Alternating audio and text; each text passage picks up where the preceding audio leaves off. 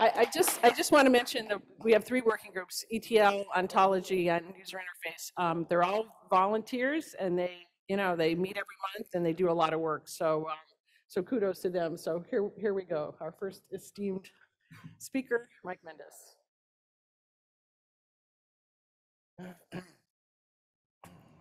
Right. That's what takes. You're good. Oh, okay, cool. Hey, welcome everyone. Morning. 8:45. I know. Uh, so a quick agenda. Uh, so basically, I'm going to talk a little bit about the history of what we've done in the past, kind of what some future stuff, and then because this is an AI, uh, we want to talk a little bit about just some genomics and AI work that we're thinking about doing. Uh, okay, so some of the past things that we've done in the past is uh, so when we first kind of set up the ETL working group, we kind of was, wasn't exactly sure what to do with it, how we should proceed. Uh, we knew that people needed to get data into the I2B2 system because otherwise you can't query. So we started out by writing some documentation, some best practices, things like that. And so we created a, a GitHub repository, we put all that into it. Um, then we were like, okay, we need to do some uh, validation stuff. So we started looking at stuff and we uh, kind of uh, toned it a little bit on the Achilles work. And so we basically kind of grabbed a lot of their stuff and then kind of merged it. Am I not talking to the speaker? Slow down. I have uh, another five minutes. I was supposed to start at 8:45 now. So okay. so yeah. So um, lost my concentration. So yeah. So we took some of the Achilles work and we basically kind of merged into the, the I2B2 uh, star schema so that you could validate stuff like finding patients who were over 150 years old or patients who had uh, observations that were after their death date, uh, people who were born before now. Uh, actually, no, that's born after now, not before now. Thanks, man. Uh, and stuff like that. So, and then we did kind of like a breakdown of age, kind of uh, uh, a chart of that, just to make sure that the, we validated the data. Okay. Uh, so then, at the time, we also ACT was uh, in full fling, and so we took the ACT ontology and we merged it into the I2B2 uh, repository also.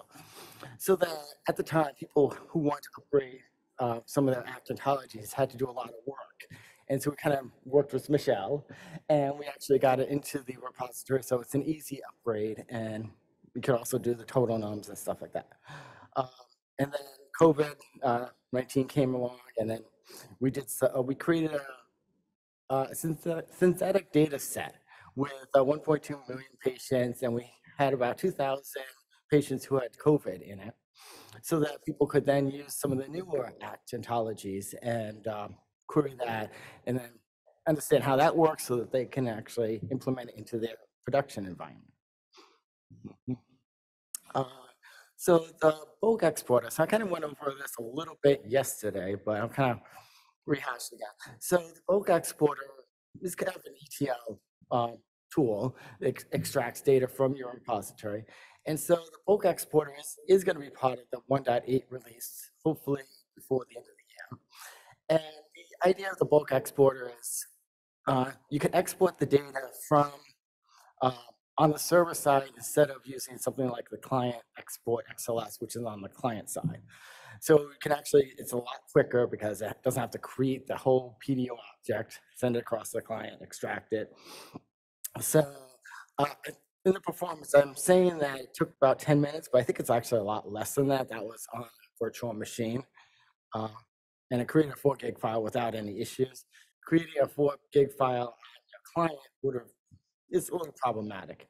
Uh, and also you're allowed to basically, like I said, you can uh, compress the files however you want, uh, encrypt them, uh, create the file structure in any way you want, whether it's a pivoted table or whether it's just the standard observation fact as you see it normally, or you can join multiple tables together.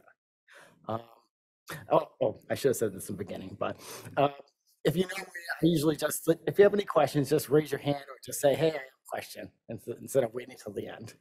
Uh, So if there's any questions, just holler out.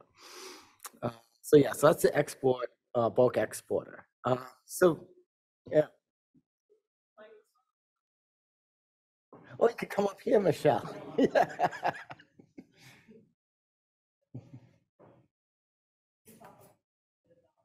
how the bulk exporter actually works, how it connects to the back end of I2B2, how, you you know, it's kind of elegant how you're doing it with the, Okay, yeah, certainly, yeah.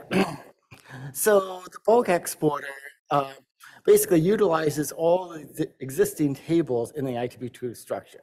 And it's similar to the breakdowns. So you have your age breakdown, your race breakdown. It utilizes all of those tables and actually a lot of the code behind it. So when you're creating, uh, like, let's say you want to uh, export demographic information from the patient dimension table all you do is you create a select statement, select uh, patient name, uh, birthday, death date, race from patient uh, dimension, and then you have to uh, do a where clause. And so you put that select statement into the um, QT result type table. And that's, and then you just give it a name, and then when you bring up the plugin, you'll see, I wish I can kind of, exp- I wish I had slides for it, but unfortunately. So when you bring up the uh, plugin, you'll see all of the different breakdowns or the different uh, exports that you have available, such as like demographics or medications, or you could do like a pivoted table. So, okay. Okay. Uh, so I want to go a little, okay, yep. Oh, jeez, okay. Yeah. Uh, I want to go a little bit into ETL and AI. So, as some of you who are in the ETL working group, we wanted to do something for this conference. And so we were thinking, okay, AI, what can we do? And so we kind of uh, honed down on creating uh, a way to like type in a kind of a chat GPT thing. They say, I want to find all patients who have diabetes and taking metformin. And it would actually just create the whole query and just put it into the UI, you'll see, boom, like you'll see uh, diabetes and your medication, and it'll have the number of patients. And so, like, yeah, that's great. Uh, so we started working on that, and then um, um, people found out about it, and they were like, "Oh, actually, that's not really ETL-ish, but we actually do have another section that we could actually put that in, and that's at the 3:30." And Shawn Murphy's going to be big, uh, talking about uh, a lot of stuff beforehand. So I kind of wanted to bring. Uh, so the group, what what do you guys think of like the ETL group? I know the AI is kind of very um, important um, and fast moving thing.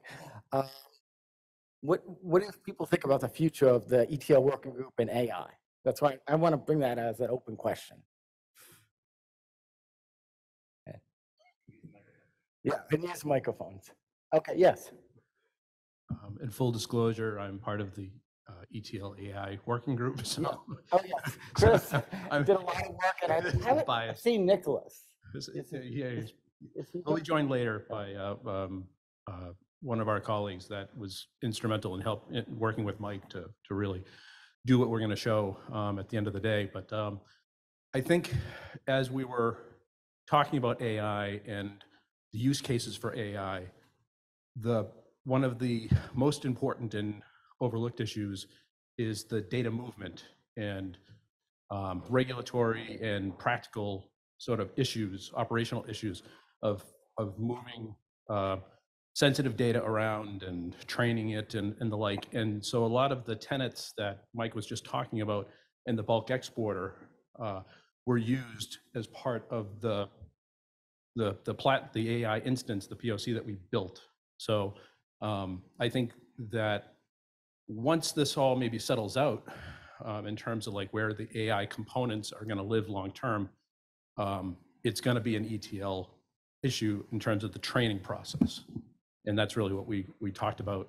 Um, we'll talk about at the POC, but you know, going forward beyond that, it, it, it would be interesting to hear what people you know, what other people think about, about where this, uh, you know, where this process could, you know, could live.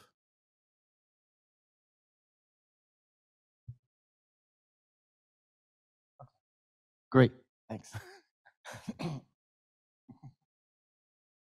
Okay, I think it's probably early in the morning, so, anyway, uh, okay, yeah, so, like Chris said, we'll be demoing, uh, all of this work that we did at three thirty. Is that three thirty, right? Uh, around three thirty, so come join us then, and I think the Ecology Working Group is next.